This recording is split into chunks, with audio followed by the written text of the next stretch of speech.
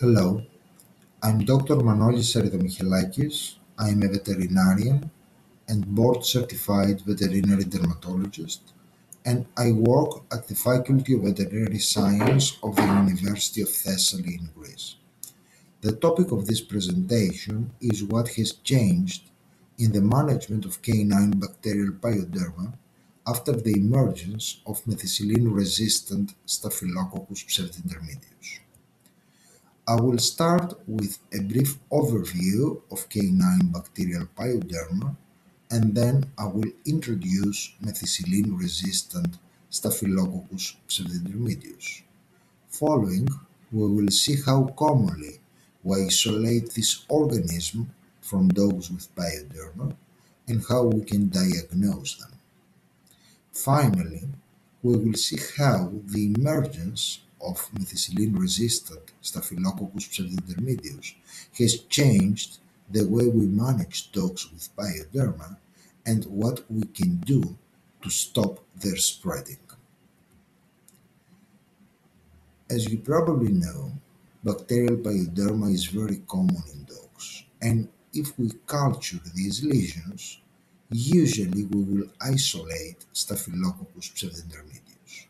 This is exactly the same organism we used to call Staphylococcus intermedius a few years ago.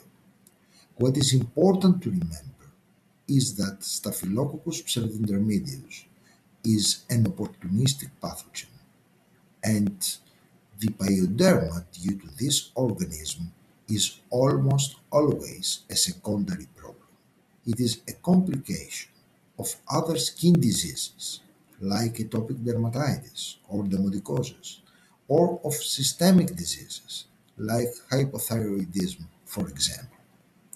Clinically, we speak about surface pyoderma, like in these three dogs, superficial pyoderma, and deep pyoderma. As the name says, methicillin-resistant Staphylococcus pseudointermedius is Staphylococcus pseudointermedius showing in vitro resistance to methicillin, which is a penicillin. And this happens because it has an altered penicillin binding protein, which is called penicillin binding protein 2A. Here, on the left, you see a methicillin susceptible Staphylococcus pseudointermedius with the wild type penicillin binding protein in green, and on the left you see methicillin resistant Staphylococcus pseudointermedius with the altered protein in red. And as you can see, penicillins like methicillin can only bind to the wild type protein and they can only kill methicillin susceptible Staphylococcus pseudointermedius, but they cannot kill methicillin resistant strains. The gene that synthesizes penicillin binding protein 2A is called MECA gene and is carried by a mobile genetic element called staphylococcal cassette chromosome MEC. Here you can see the genetic element in yellow and the gene as a red circle. This genetic element can be transferred among staphylococci and this is the way that methicillin-resistant Staphylococcus pseudointermedius can spread. The big problem is that this staphylococcal cassette chromosome usually carries additional genes that confer resistance to many antimicrobials. And this means that besides being resistant by definition to all penicillins, cephalosporins, and carbapenems, methicillin-resistant Staphylococcus pseudointermedius is commonly multi-drug resistant, and it's not a surprise to see that the strain we have cultured from a dog with pyoderma is resistant to every single antimicrobial that is licensed for veterinary use. For this reason, this organism, methicillin-resistant Staphylococcus pseudointermedius, from a therapeutic standpoint, is the superbug. In this slide, you can see the prevalence of canine pyoderma due to methicillin-resistant Staphylococcus pseudointermedius that has been reported from different areas of the world. But please remember that these figures are probably an overestimate of the true prevalence because they derive mostly from second opinion referral practices.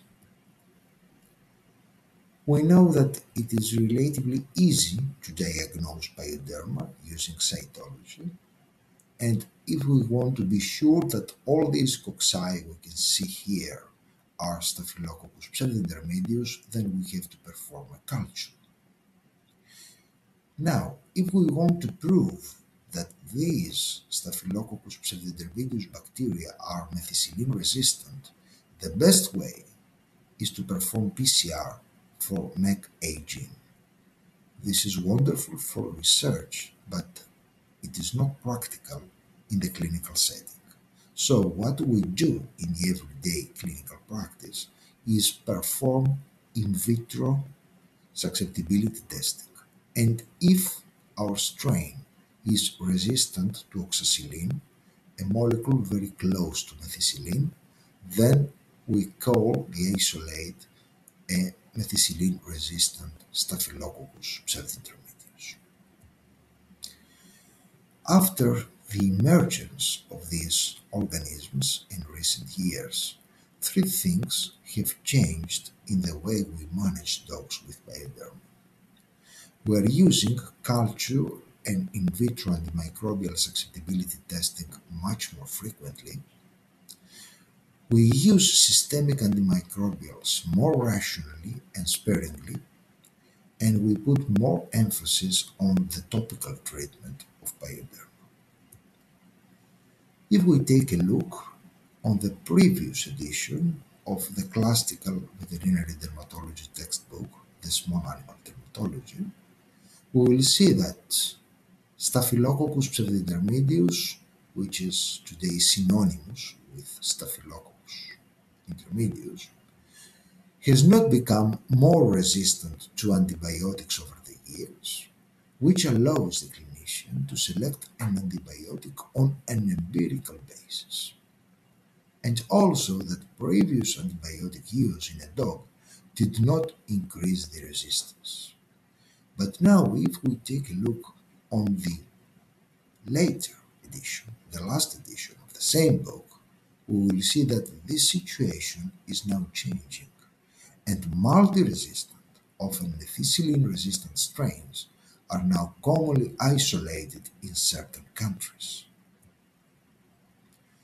In the previous edition, excellent sensitivity to amoxicillin clavulanate, oxacillin, cephalosporins, erythromycin, potentiated sulfonamides, enrofloxacin and chloramphenicol, good sensitivity to clindamycin, fair sensitivity to tetracycline. But now we know that methicillin-resistant Staphylococcus pseudointermedius is by definition resistant to penicillins, like amoxicillin clavulanate and oxacillin, to cephalosporins, and typically it is also resistant to macrolides like erythromycin, to lincosamides like clindamycin, to potentiated sulfonamides, and to quinolones like enrofloxacin. So, the first big change. We used to perform culture and in vitro susceptibility testing if there were rods in cytology, in dogs with deep pyoderma, and in dogs with superficial pyoderma that did not respond very well to the empirical treatment. Now we have two additional indications for culture. dogs with superficial pyoderma that have recently received antimicrobials because this is a risk factor for infection by methicillin-resistant Staphylococcus pseudointermedius strain, and also dogs with superficial pyoderma that live with another dog that has a confirmed diagnosis of infection by this organism. What about the rational use of systemic antimicrobials? Now, we have classified the antimicrobials we can use to treat dogs with pyoderma in three groups. The first choice antimicrobials can be used without culture and susceptibility testing. They include amoxicillin clavulanic acid, first generation cephalosporins like cephalexin and cefadroxil, lincosamides like clindamycin, and potentiated sulfonamides. The second choice antimicrobials can only be used after culture and in vitro susceptibility testing and if the strain is resistant to all the first choice drugs. They include the fluoroquinolones and also the third generation cephalosporins, cefpodoxime and cefovecin, although there is some controversy about the last drugs. And some people think they can be moved to the first choice drugs. Finally, we have the third choice antimicrobials, which are only used after culture and in vitro susceptibility testing showing that the strain is resistant to all first choice and second choice antimicrobials. And these drugs include ceftazidime, azithromycin, clarithromycin, chloramphenicol, amikacin, and rifampicin. Finally, do not use the drugs that are critically important for humans, like carbapenems, which, anyway, are not useful for dogs with methicillin-resistant staphylococcus pseudointermedius infections because these organisms are resistant carbapenems.